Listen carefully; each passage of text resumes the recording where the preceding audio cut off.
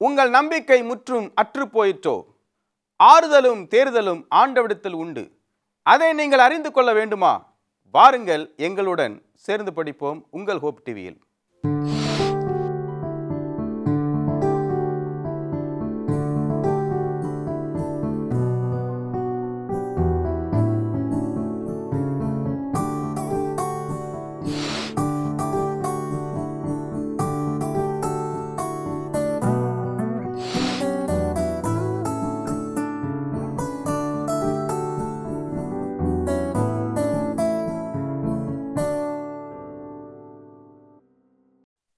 உலகெங்கும் உள்ள hope TV Tamil நேயலுக்கு இயேசு கிறிஸ்துவின் நாமத்தினாலே வாழ்த்துக்களையும் வணக்கங்களையும் தெரிவித்துக் கொள்கிறோம். மற்றும் ஒரு இனிய நன்னாளிலே ஓய்வு நாளின் பள்ளி பாடக நிகழ்ச்சியின் மூலமாய் உங்கள் அனைவரையும் சந்திப்பதிலே மிகுந்த மகிழ்ச்சி அடைகிறோம். வாங்க நிகழ்ச்சிக்குள்ள கடந்து போகலாம் இந்த நாளில் விசேஷமாய் திரு வேதநாயம் அவர்கள் இப்போது சார்ல்ஸ் இருப்பதற்கு மிகுந்த மகிழ்ச்சி. உங்கள் இருவரையும் நிகழ்ச்சிக்குள்ளே நான் வரவேற்றுக் கொள்கிறேன். புதிய வருஷத்துக்குள்ளே வந்திருக்கிறோம். அருமையான ஒரு பாடம் கொடுக்கப்பட்டிருக்கிறது. இந்த காலனுடைய தலைப்பு இந்த நாளினுடைய தலைப்பை சார் நீங்கள் அறிமுகப்படுத்துங்க. என் ஜனங்களை ஆறுதல் படுத்துங்கள் என்ற தலைப்பின் கீழ் ரெண்டாயிரத்தி இருபத்தி ஓராம் ஆண்டின் முதலாம் காலாண்டின் பாடங்களை நாம் படிக்க இருக்கிறோம். இந்த முதல் வாரத்தின் பாட தலைப்பு அடையாளத்தை பற்றிய நெருக்கடி. மனப்பாட வசனமாக ஏசாயா தீர்க்கதரிசியின் புஸ்தகம் முதலாம் அதிகாரம் பதினெட்டாம் வசனம் கொடுக்கப்பட்டுள்ளது. வழக்காடுவோம் வாருங்கள் என்று கர்த்தர் சொல்லுகிறார். உங்கள் பாவங்கள் சிவேர் என்றிருந்தாலும் உறைந்த மலையைப் போல் வெண்மையாகும். அவைகள் இரத்தாம்பர சிவப்பாக இருந்தாலும் பஞ்சை போல் ஆகும். அருமையான ஒரு காரியம். பாஸ்டரும் ராஜ்குமார் அவர்கள் ஞாபகப்படுத்துகிறாங்க நல்ல மனப்பாட வசனம் சொன்னது. என்னுடைய வாழ்த்துக்கள் பனிபது பதிமூணு வசனங்களும் நீங்கள் அப்படி சொல்லணும் என்னுடைய வாழ்த்துக்கள். பாஸ்டர் உங்களுடைய அறிமுகம் ரொம்ப வித்தியாசமாக இருக்கும். இந்த காலனுடைய அறிமுகமும் இந்த பாடத்தினுடைய அறிமுகம் நீங்கள் கொடுங்க. இந்த புத்தகம் வந்து ஒரு விசேஷித்த ஒரு புத்தகமாக இருக்கிறது. ஆண்டவர் ஏசாயாவை கொண்டு சொன்ன இந்த வார்த்தைகளை நாம் கவனிக்கும் பொழுது அதனுடைய மைய கருத்து என்ன அப்படின்னா என் ஜனம் ஆற்றப்பட வேண்டும் என் ஜனம் தேற்றப்பட வேண்டும். ஏன் அப்படின்னா மனிதர்களை படைத்தவர் தேவன். அவர்கள் எவ்வளவாய் நெருக்கப்படுகிறார்கள் ஒடுக்கப்படுகிறார்கள் என்பதை ஆண்டவர் அறிந்திருக்கிறார். அதிலும் குறிப்பாக இவர்கள் பாவத்தின் நிமித்தமாய் ஆண்டவரை விட்டு பிரிந்து போகிறதற்கு ஏதுவான செயலிலே ஈடுபட்டது நிமித்தமாய் இவர்கள் அதிகமாய் காயப்பட்டிருக்கிறதை ஆண்டவர் பார்த்தார். இப்போ அவங்களுடைய தலை துவங்கி உள்ளங்கால் வரைக்கும் அந்த காயங்கள் இருக்கிறதை நான் பார்க்கிறேன். அது ஆற்றப்படாமலும் அது தேற்றப்படாமலும் இருக்கிறது. நீங்கள் என்னிடத்திலே வருவீர்களே என்றால் உங்களை தேற்றுகிறதற்கு நான் எப்பொழுதும் காத்திருக்கிற தேவனாக இருக்கிறேன் என்பதுதான் இந்த ஒட்டுமொத்த புத்தகத்தினுடைய மைய கருத்தாக இருக்கிறது. அதில் இன்றைக்கு பாடத்தில் ஒரு நல்ல அறிமுகத்தை நமக்கு கொடுத்திருக்கிறார்கள். இந்த அயர்லாந்து நம்ம எடுத்துக்கொள்வோமே என்றால் அங்கே அதிகமான மாடுகள் உண்டு. அங்கே போனவர்களுக்கு நன்றாக தெரியும். அங்கே போனாவே எல்லா மாடுகளும் ஒரே நேரத்திலே அது மேய்கிறதற்கு அதை விட்டிருப்பாங்க. அது பார்க்கும்போது அவங்களுடைய எஜமான எல்லாம் வேறு வேறு இடத்துல இருந்தாலும் அது கடைசியாக அந்த மாலை வேளையில் பிரிந்து போகும்பொழுது அது அது சரியாக தன்னுடைய மெய்ப்பன் அண்டைக்கும் தன்னுடைய இருப்பிடத்திற்கு அது சரியாக போய் சேருமா? அது வந்து பார்க்கிறதற்கு ரொம்ப வியப்பையும் ஆச்சரியத்தையும் கொடுக்கக்கூடியதாக இருக்கிறது. அதை முதல் ஒரு ஓமானமாக கொடுத்து அடுத்து ஒருவேளை ஒரு சிறு பையன் அவன் தன் தாயோடு ஒரு அம்மாவோட ஒரு ஷாப்பிங் சென்டருக்கு போகிறாருன்னு வச்சுக்கோங்களேன். வாங்கி கொண்டிருக்கிற வேளையிலே தன்னுடைய தாயை அவன் இழந்து விடுகிறான் அல்லது இவன் வேறு விதமாய் போய் தொலைந்து போகிறான்.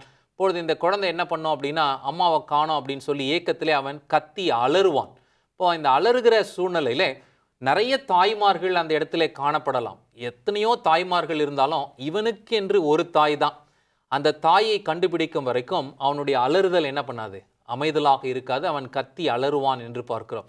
ஆனால் ஆண்டவர் இங்கு தம்முடைய பிள்ளைகள் எப்படி ஆகிலும் அவரை அடையாளம் கண்டுபிடிக்க வேண்டும் என்று சொல்லி அவர் விரும்புகிறார். ஆனால் இஸ்ரோவேல் ஜனங்களோ தேவனை மறந்தவர்களாக தேவனுக்கு தூரமாக இருக்கிறதை இங்கே நாம் பார்க்குறோம். அதனால தான் இந்த முதல் அதிகாரத்திலேயே ஏசையா சொல்லும்பொழுது என்ன சொல்கிறார் அப்படின்னா ரொம்ப அழகாக இருக்கு பாருங்கள் இந்த வசனம். மாடு தன் எஜமானையும் கழுதை தன் ஆண்டவனின் முன்னணியும் அறியும். இஸ்ரவேலோ அறியாமலும் என் ஜனம் உணராமலும் இருக்கிறது என்று சொல்லி ரொம்ப வேதனையில் ஆண்டவர் பேசுகிறார் அப்போ இந்த அதிகாரத்தினுடைய துவக்கம் என்ன அப்படின்னா ஆண்டவருடைய ஏக்கத்தை நம்ம பார்க்குறோம். தம்முடைய ஜனத்தை மீண்டுமாக தம் வசமாய் சேர்த்து கொள்ள வேண்டும் என்கின்ற அவருடைய மனோவாஞ்சையை இந்த அதிகாரத்தில் நாம் பார்க்கிறோம். அடையாளத்தை பற்றிய நெருக்கடி இந்த தலைப்பின் கீழாக நாம் இந்த வார பாடத்தை நாம் படிக்க இருக்கிறோம். அப்போ மனிதர்களுக்கு நாம் யார் என்று சொல்லி ஒரு குழப்பம். தேவனை தெரிந்திருந்தும் தேடக்கூடாத அளவுக்கு அவங்க ரொம்ப இந்த உலகத்தரமான காரியத்தில் அவங்க ஈடுபட்டு கொண்டதுனால அடையாளத்தை குறித்து நாம் அதிகமாக படிக்க இருக்கிறோம். அது இந்த நாளின் பாடத்தை படிக்கும் பொழுது நமக்கும் பொருந்தும் என்று சொல்லி இந்த வார பாடத்தில் கடந்து போவோம். ஏசாயா தீர்க்கதரிசின் பின்னணி என்ன? தேவன் வானங்களையே என் சாட்சிக்கு அழைக்க வேண்டும். ஏசாயா தீர்க்கதரிசியின் முதலாவது அதிகாரத்தில் உள்ள வசனங்களை நாம் பார்ப்போம் என்று சொன்னால் ஏசாயாவை குறித்து ஒரு சிறிய அறிமுகம். ஆமோத்ஸின் குமாரனாகிய ஏசாயா என்று சொல்லப்பட்டிருக்கிறது. அவருடைய தீர்க்க தரிசனத்தின் காலங்கள் அந்த முதல் வசனத்தில் நம்ம பார்க்குறோம். யூதா தேசத்தின் ராஜாக்களாகிய உசியா அ- அசரியா என்ற உசியா. அவருடைய மகன் யோதாம் ஆகாஸ் எசேக்கியா என்ற ராஜாக்களின் நாட்களிலே இந்த ஏசாயா தீர்க்கத்தரிசி ஆலோசனைகளையும் தீர்க்க தரிசனங்களையும் அந்த ராஜாக்களுக்கும் ஜனங்களுக்கும் கொடுத்தார். ஏராளமான ஆலோசனைகள் அவருடைய பாவங்களை குறித்து பாவ மன்னிப்பை குறித்து எல்லாவற்றையும் அந்த ராஜாக்களுடைய நடவடிக்கைகளை குறித்த தீர்க்க தரிசனங்களை இவர் கொடுத்திருக்கிறார். நீங்கள் சொன்ன அந்த முக்கியமான ஒரு கருத்து வானங்களே கேளுங்கள் பூமியே செவிகொடு கர்த்தர் பேசுகிறார் என்ற வாக்கியத்தை நாம் அங்கே பார்க்குறோம். வானங்களையும் பூமியையும் அவர் கூப்பிட்டு சொல்லுகிறார் என்று சொன்னால் முதலாவது நம்முடைய புரிந்து கொள்ளுதல் அவர் இந்த ஸ்- தீர்க்க தரிசனம் எல்லா ஜனத்துக்கும் உரியது. என்பதை அது குறிக்கிறது. அடுத்தபடியாக இந்த தீர்க்க தரிசனத்தின் முக்கியத்துவத்தையும் அது காட்டுகிறது. இன்னொரு வழியிலே நாம் எடுத்துக்கொள்வோம் என்று சொன்னால் மோசையின் காலத்தில் ஆண்டவர் மோசே அந்த ஜனங்களுக்கு ஆண்டுடைய வழிநடத்தலை பற்றி பேசி கொண்டிருக்கும் போது அவர் சொன்னார் வானங்களையும் பூமியை நான் சாட்சியாக வைக்கிறேன். நீங்கள் தேவனுக்கு செவி கொடுத்து அவருடைய கற்பனைகளை கைக்கொள்ள வேண்டும். அப்படி க கை கொண்டால் ஆசீர்வாதத்தை பெற்றுக்கொள்வீர்கள். இல்லாட்டா சாபத்தை பெறுவீர்கள் என்று சொல்லி அந்த வானத்தையும் பூமியும் சாட்சிக்கு அழைக்கிறார். இங்கே கரிசனையோடு இந்த ஏசாயா தீர்க்கதரிசியின் மூலமாக சொல்லக்கூடிய ஒரு காரியம் என்னென்னா நான் பிள்ளைகளை வளர்த்து ஆதரித்தேன். அவர்களோ எனக்கு விரோதமாய் கலகம் பண்ணினார்கள். இப்போ அவருடைய கரிசனை அதில் நம்ம பார்க்குறோம். பாஸ்டர் சொன்ன மாதிரி இரண்டு உதாரணங்களையும் கொடுத்தார். அதாவது மாடு கழுதை. மாடு தன் எஜமானையும் கழுதை தன் முன்னணையையும் அறியும். ஆனால் என்னுடைய ஜனங்களோ அறிவில்லாமலும் உணர்வில்லாமலும் இருக்கிறார்கள். அதனால் ஆண்டவர் தம்முடைய ஜனங்களை அழைக்கும்படியாக இந்த முக்கியமான தீர்க்க தரிசனத்தை ஏசாயா மூலமாக ஜனங்களுக்கு கொடுக்கிறார். இயற்கை எதுவுமே மாறவில்லை. மனிதனை படைத்தார் மனிதன் மாறிவிட்டான். அதனால தான் ஆண்டவர் அங்கெல்லாம் சாட்சி கூப்பிட்டு கூப்பிட்டு சொல்றாரு. சிருஷ்டிகரை நினைத்து வைன்னு சொல்லி அருமையான ஒரு விளக்கத்தை நீங்கள் கொடுத்தீங்க. அஹ், உங்களுக்கான ஒரு கேள்வி. அப்படி என்ன யூத மக்கள் பாவம் செய்தார்கள்? அவர்களுக்கு அருளப்பட்ட நம்பிக்கை தான் என்ன? இதில் வந்து இந்த புத்தகம் வந்து ரொம்ப அருமையான ஒரு புத்தகம். இதில் ஏழு பாவங்களை தொடர்ந்து இஸ்ரோவேல் ஜனங்கள் செய்தார்கள் என்பதை தீர்க்கதரிசி அங்கங்கு ஒவ்வொரு அதிகாரத்திலும் வலியுறுத்துகிறதை நம்மால் பார்க்க முடியும். அது என்ன ஏழு என்று பார்க்கும்பொழுது முதல் செஞ்சவங்களோட பெரிய பாவம் என்ன அப்படின்னா தங்களுடைய எஜமானை இவர்கள் அறியாமல் இருந்தது தான் இவர்கள் செய்த ஒரு பெரிய தப்பிதம். தங்களை உண்டாக்கின சிருஷ்டி கர்த்தரை இவர்கள் உணராமல் இருந்தாருங்க பார்த்தீங்களா அது பயங்கரமான தப்பிதம். எப்பவுமே ஆண்டவரை மகிமைப்படுத்தவில்லை என்றால் பாவத்தன்மை மனிதனுக்குள்ளாக வந்துவிடும். இப்படி தான் நாமும் இருக்கிறோம். நாம் சோதோமுக்கு ஒத்து இருக்கிறதற்கு எதுவாக நமக்குள்ளாக பாவம் இருக்கிறது. பாவம் வந்தது நிமித்தமாக இவர்கள் தீட்டுப்பட்டது மாத்திரமல்லாமல் மற்றவர்களையும் தீட்டுப்படுத்துகிறதற்கு ஏதுவாக அவர்களுடைய குணம் மாறினது என்றும் இவர்கள் அதிலேயே தொடர்ந்து நிலைத்திருந்ததுனால இவங்க வந்து தே பிகேம் ஈவில் டூவர்ஸ் இவங்க வந்து தீமையை ரொம்ப தண்ணீரை போல ரொம்ப சகஜமாய் செய்யக்கூடிய ஒரு பழக்கத்திலே அவர்கள் ஈடுபட்டார்கள். தேவனை விட்டு அவர்கள் தூரம் போனார்கள். அது மாத்திரமில்லாமல் தேவனை கோபப்படுத்துறதுல இவங்க ரொம்ப எக்ஸ்பர்ட்டாக மாறிட்டாங்க. என்ன விஷயத்தை செஞ்சால் ஆண்டவர் ரொம்ப கோவப்படுவார் அதில் வந்து இவங்க ரொம்ப வல்லுனர்கள் போல காரியங்களை செய்கிறதை தீர்க்கதரிசி இங்கே காண்பிக்கிறார். கடைசியாக என்ன அப்படின்னா ஆண்டவர் எவ்வளோக்கு எவ்வளோ கூப்பிட கூப்பிட கிட்ட போகிறாரோ அவ்வளோக்கு அவ்வளோ இவங்க பின்னாடி போயிட்டே இருந்தா நல்ல பாடங்களை படித்துக் கொண்டிருக்கிறோம். ஒரு இடைவேளைக்கு பின்பாக மீண்டும் சந்திப்போம். பிரியமானது ஒரு இடைவேளைக்கு பின்பாக மீண்டும் நிகழ்ச்சிக்குள்ள நம்ம கடந்து போகலாமா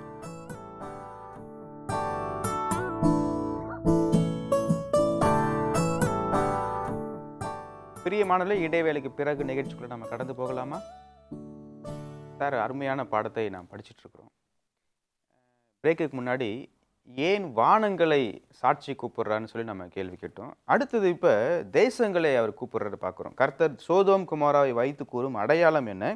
யூத மக்களின் பலியையும் துதியையும் ஏன் கர்த்தர் வெறுத்தார்? இந்த முதலாம் அதிகாரத்தில் ரெண்டு வசனங்களை நான் உங்களுக்கு வாசிக்க வேண்டும். ஒன்பது பத்து. சேனைகளின் கர்த்தர் நமக்கு கொஞ்சம் மீதியை வைக்காதிருந்தாரானால் நாம் சோதோமை போலாகி கொமோராவுக்கு ஒத்திருப்போம். சோதோமின் அதிபதிகளே கர்த்தடைய வார்த்தையை கேளுங்கள். கொமோராவின் ஜனமே நமது தேவனுடைய வேதத்துக்கு செவி கொடுங்கள். அதாவது இந்த யூதயா தேசம் முழுமையாக அளிக்கப்படவில்லை ஆண்டவர் ஒரு மீதமான சந்ததியை அவர் வைத்திருந்தார். அப்படி இல்லாவிட்டால் இந்த சோதோம் கொமோராவை போல் அவருடைய பாவம் அவ்வளவு மிகுதியாக இருந்தது. பாஸ்டர் சார்ல்ஸ் அதை குறித்து சொல்லும்போது ஏழு பாவங்களை அவர்கள் செய்தார்கள் என்று நாம் அறிந்து கொண்டோம். அவ்வளவு மிகுதியான பாவங்கள். சோதோம் கொமோராவை போல ஒருவேளை முழுமையாக அழி அழிக்கப்பட்டிருக்க முடியும். ஆனால் ஆண்டவர் தம்முடைய இரக்கத்தினாலே ஒரு மீதமான ஜனத்தை அவர் வைத்திருந்தார். அவர்களை பார்த்து அவர் சொல்லுகிற காரியம் சோதோமின் அதிபதிகளே கர்த்தருடைய வார்த்தையை கேளுங்கள். கொமோராவின் ஜனமே. அப்படின்னா சோதோமின் அதிபதிகளே என்று சோதோமில் உள்ள ஜனங்களை பார்த்து சொல்லலை. அந்- அவர் சொல்லுகிற ஒரு காரியம் அந்த அதற்கு சமமான பாவங்களை நீங்கள் செய்திருக்கிறீர்கள் என்று சொல்லும்படியாக இந்த யூதயாவின் ஜனங்களை பார்த்தே அந்த பட்டணத்தை அடையாளமாக சொல்லி அழைக்கிறார். சோதோமின் ஜனங்களே குமோராவின் ஜனமே. அவங்கள குறித்து ரெண்டு காரியத்தை அவர் சொல்கிறார் பாருங்க. ஒன்று வந்து கர்த்துடைய வார்த்தையை கேளுங்கள். அப்போ அவங்க வந்து அதற்கு ஒரு அதை அதை அவங்க புறக்கணிச்சிருக்கிறாங்க. ஆண்டுடைய வார்த்தைகளை தீர்க்க தரிசனத்தை அவர்கள் புறக்கணிச்சிருக்கிறாங்க. அதனால் அவர்கள் செய்ய வேண்டிய காரியம் அவருடைய வார்த்தையை கேட்க வேண்டும். அதற்கு கீழ்ப்படிய வேண்டும். அதைத் தொடர்ந்து இன்னொரு காரியம் சொல்கிறாரு தேவனுடைய வேதத்துக்கு செவி கொடுங்கள். இது அவர்களிடத்திலே காணப்படாத ஒன்றாக இருந்தது. தேவனுடைய கற்பனைகளுக்கு அவர்கள் கீழ்ப்படியாமற் போனார்கள். ஆகவே அவருடைய பாவத்தை சுட்டிக்காட்டி அந்த பாவத்தின் தன்மை எந்த அளவுக்கு இருக்கு? கொமோ சோதம் குமாராவின் ஒரு முழுமையான அழிவை அவர்களுக்கு காட்டி அந்த அளவுக்கு உங்களுடைய பாவம் இருக்கிறது. ஆகவே கர்த்தருடைய வார்த்தையை கேளுங்கள். அவருடைய வேதத்தை நீங்கள் அறிந்து கொள்ள வேண்டும். அவருடைய கற்பனைகளை கைக்கொள்ள வேண்டும் என்று சொல்லி அவர் அவர்களுக்கு அறிவுறுத்தினார். ஏசாயா தீர்க்கதரிசி. கட்டளைகளுக்கு கீழ்ப்படிங்கன்னு சொல்லி சார் முடிச்சிருக்காங்க. அப்போ கர்த்தர் தம் மக்களுக்கு கொடுத்த கட்டளை என்ன? புதிய ஏற்பாட்டில் இயேசு மனித அவதாரம் எடுக்கும் பொழுது அவருடைய உபதேசத்தோடு இதை இதை எப்படி நம்ம ஒப்பிட்டு பார்க்கலாம்? நிச்சயமாக இது ஒரு க்ளோஸ் கனெக்ஷன் இருக்குது என்பதை நாம் பார்க்கிறோம். ஏன்னா இந்த முதல் அதிகாரத்தில் ஆண்டவர் அவருடைய ஜனத்தை மீண்டுமாக ஏவுகிறார். ஏவி நீதியிலும் பரிசுத்தமான பாதையிலும் அவர்கள் திரும்பி வர வேண்டும். ஏன் அப்படின்னா இவர் பரிசுத்தமான தேவன் அவர் வசமாய் இவர்கள் சேர்க்கப்பட வேண்டும் என்றால் அவருடைய பரிசுத்தத்திலே நாம் நிலைத்திருக்க வேண்டும் என்பது தான் ஆண்டவருடைய விருப்பமாக இருக்கிறது. அவ்வகையில் இங்கே ஆண்டவர் தீர்க்கதரிசியை கொண்டு சொல்லும்போது மூன்று மிக முக்கியமான காரியங்களை சொல்லுகிறார். அதில் இங்கே சொல்லும்போது இங்கே பதினாறாவது வசனத்திலே உங்களை கழுவி சுத்திகரியுங்கள் என்று சொல்லுகிறார். அப்போ தேவன் வசமாய் வருகிற யாரும் தங்களை என்ன பண்ணணும்? கழுவப்படுகிறதற்கு ஒப்பு கொடுக்க வேண்டும். அந்த சுத்திகரிப்பு மிகவும் அவசியமாக இருக்குது அதனால தான் ஆசரிப்பு கூடார முறைமைகள் எல்லாமே நீங்கள் பார்த்தீங்கன்னா முதல் பகுதியே வந்து சுத்திகரிப்பு தான். அந்த சுத்திகரிப்புக்கு அப்புறம் தான் அவங்க எங்கே போக முடியும்? ஆசாரியராக இருக்கட்டும் அல்லது தேவ ஜனமாக இருக்கட்டும் தேவனுடைய சமூகத்தில் வரணும் அப்படின்னா தங்களை வெளிப்புறமாகவும் உட்புறமாகவும் அவர்கள் தங்களை என்ன பண்ணியிருக்கணும்? சுத்திகரித்திருக்க வேண்டும் என்பதை பார்க்கிறோம்.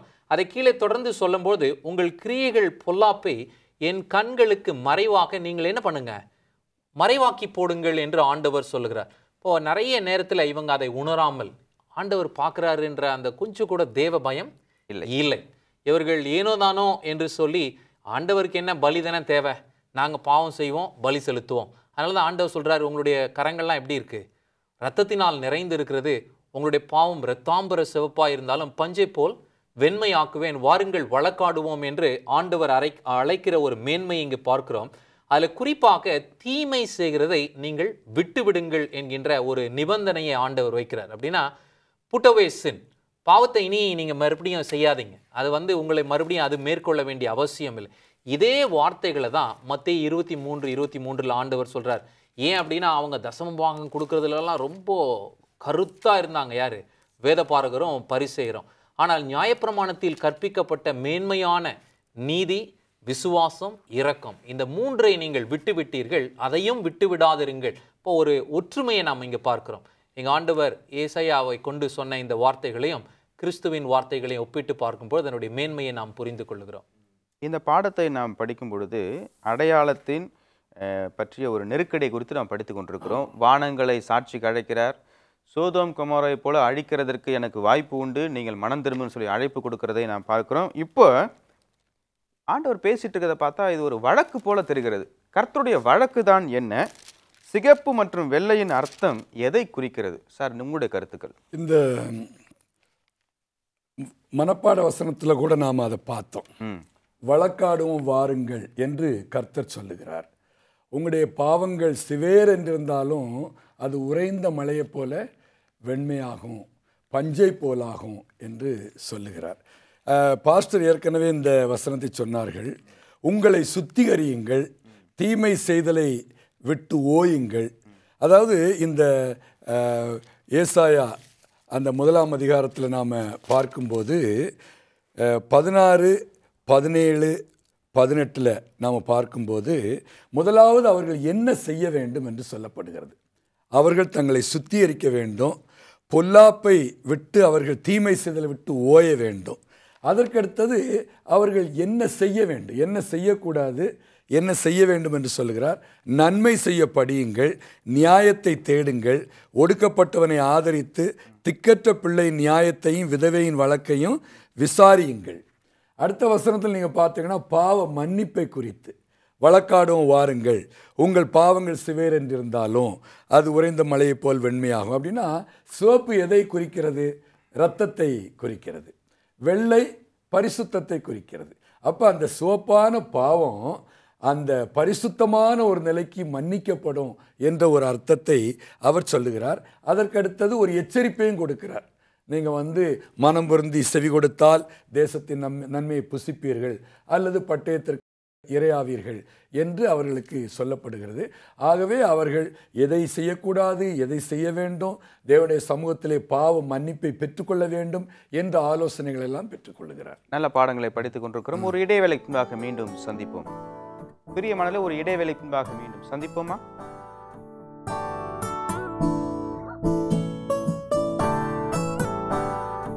பிரியமானல இடைவேளைக்கு பின்பாக மீண்டும் நிகழ்ச்சிக்குள்ள நம்ம கடந்து போகலாமா? பாஸ்டர் சார்ல்ஸ் உங்களுக்கான ஒரு கேள்வி. ஆண்டவர் மன்னிப்பு கொடுக்குறேன்னு சொல்றாரு. மன்னிப்பின் ஈவு அந்த ஒரு gift மனமாற்றத்தை கொண்டு வர முடியுமா? நிச்சயமா ஆண்டவருடைய மன்னிப்பின் திட்டத்திலே ஒரு பெரிய பங்கை நாம் என்ன பார்க்கிறோம் அப்படின்னா அவருடைய ஈவு தான் அவருடைய இரக்கம். அவருடைய இரக்கம் வந்து எப்பவுமே நம்முடைய மனதை வந்து சுத்திகரிக்கிறதற்கு ஏதுவாகவும் நம்மை புடமிடுகிறதற்கு ஏதுவாகவும் அது கிரியேட் செய்கிறது என்பதை அறிந்திருக்கிறோம். ஒரு நல்ல உதாரணம் அப்படின்னா பவுலுடைய வசனங்களை நான் எப்பொழுதுமே மேற்கோள் காண்பிக்கிறது. அதில் குறிப்பாக யூதர்களுக்கு அதை வலியுறுத்தி எழுதுகிறதை நாம் பார்க்க முடியும். ரோமர் ரெண்டாம் அதிகாரம் அதில் நான்காவசனத்தில் வசனத்திலே சொல்லும்போது அல்லது தேவ தயவு நீ குணப்படும்படியாய் உன்னை ஏவுகிறது என்று அறியாமல். இதே வார்த்தையை தான் இங்கே தீர்க்கதரிசி பயன்படுத்துகிறாரு. ஆண்டவர் சொல்கிறாரு இந்த ஜனம் என்னை அறிய வேண்டிய பிரகாரமாக இவங்க என்ன பண்ணலை?